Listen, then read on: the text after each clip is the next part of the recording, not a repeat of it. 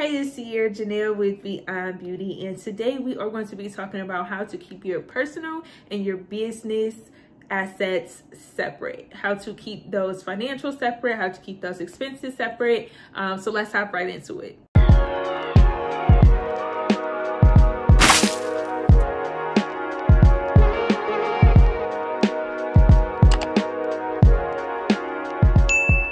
The number one tip is going to be getting a separate checking and savings account for your business.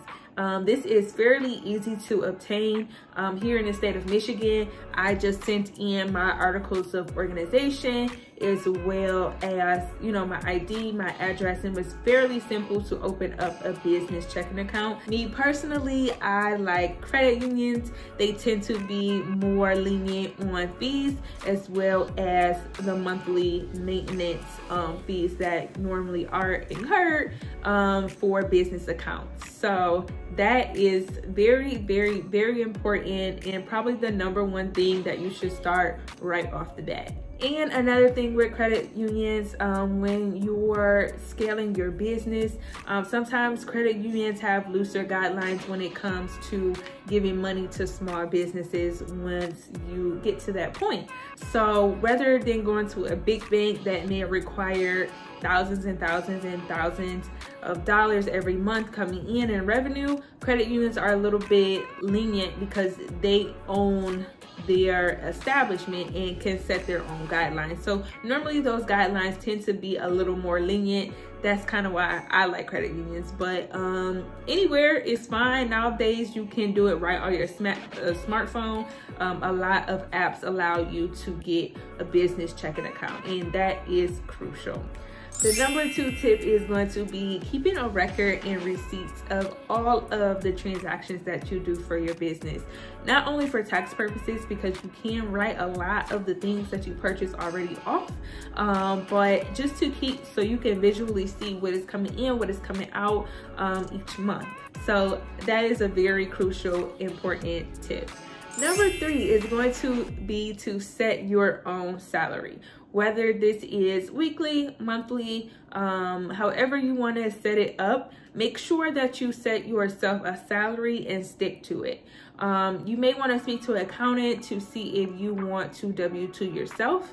That way, when it comes to tax time, um, you can report that as income um, in addition to your nine to five job. Now, for some people, you might not want to do that. Other people, it may be a benefit to you. You want to speak with the accountant to see what is the best way to go about that. But um, even if you don't decide to W-2 yourself, you still want to keep a track of how much money is come, coming to you.